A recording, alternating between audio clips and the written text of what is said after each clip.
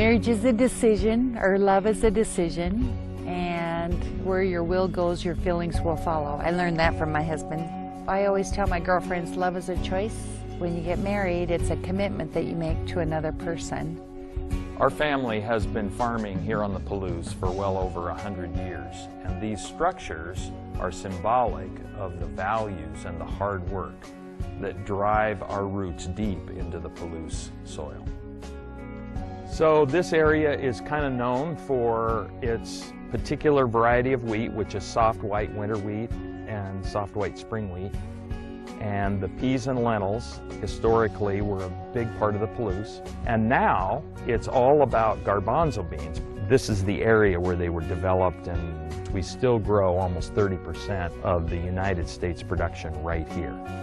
A young lady came to us who had been at an event at our place several years prior, and she brought her fiance and said, It has always been my dream to get married in your barn. Is that possible? And that's how it all began. There are so many special things about this place, primarily the location. Uh, it's very rural, it's very private, it's very quiet.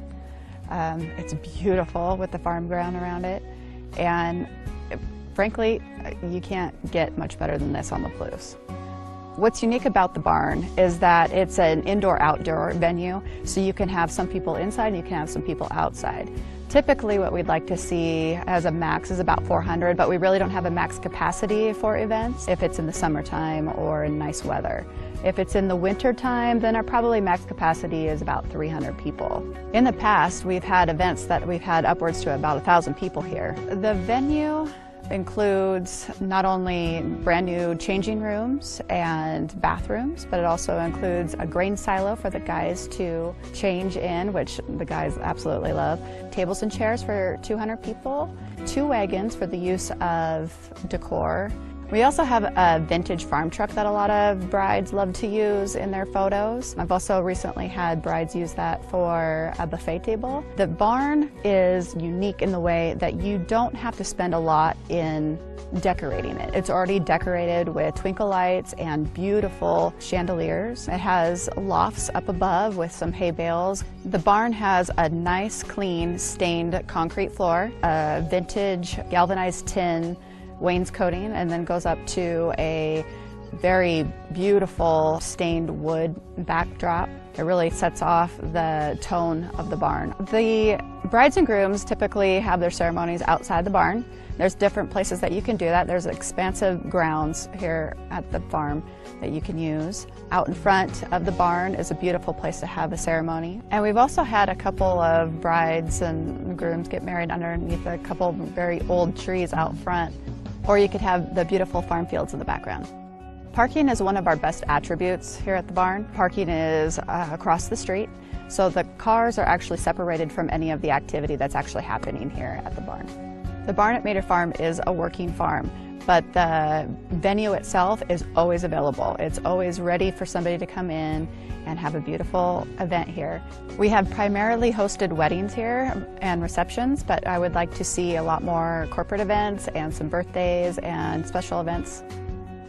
As an event coordinator at the barn at Mader Farm, I love this venue. Working with the Maders to make the special day happen for these people is what makes it the best job. It gives me the opportunity to work with clients to create a beautiful and unique and amazing event.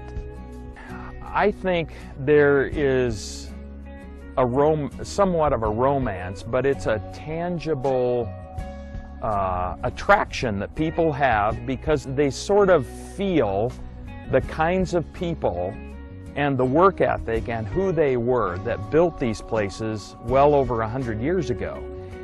And I think that the values sort of are incorporated in these kinds of settings and people are drawn to that more traditional, uh, community-oriented uh, system. And I, I think they hope that they can start off their marriage in that kind of a setting. And we hope and we pray that there will be a blessing on them uh, with all of those things coming to bear on their marriage so that it goes very well for them.